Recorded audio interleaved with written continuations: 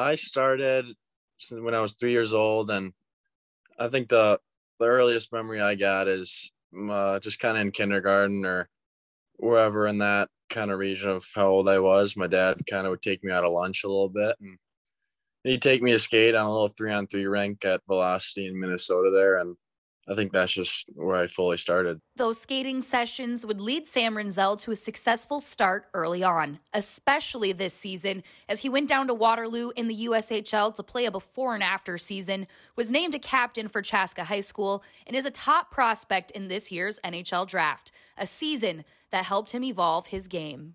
In the USHL, you're you're playing against bigger, stronger guys, and the pace is just a little bit faster, but you know, I think it's it's it's a little easier in a sense. Uh, I think everyone knows the game a little bit more, and you know, it's older guys. They they've been around it longer, and they have that experience that you're able to kind of play alongside them with. And, and then going back to Chaska, I think you know it was pretty fortunate. I was being able to be named captain, and I was able to go there and and grow as a leader and and grow as a as a man and as myself and being able to grow into that it's it was pretty special.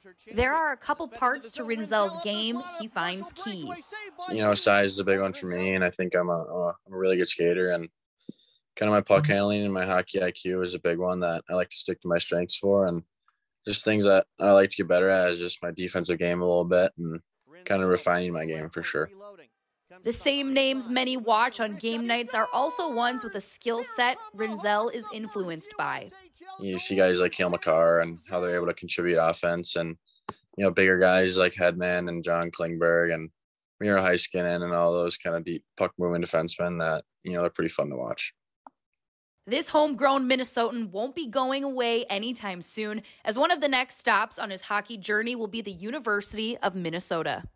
You know, it was a dream ever since I was a little kid, and you know, when I was fortunate enough to get a call and and check out a visit there, it's I loved every part of it, and it was it was pretty hard to say no. So it's gonna be great being able to have all my my grandpa coming up and all my family members, my cousins. It's it's gonna be pretty fun. As far as where he hopes the game will take him, whatever my dreams kind of live up to. It's you know I want to be able to play in the NHL. I want to be able to win a Stanley Cup, and you know it's just you know not worried that far down the road, but those are my dreams, and you know I'm worried about the present right now. So.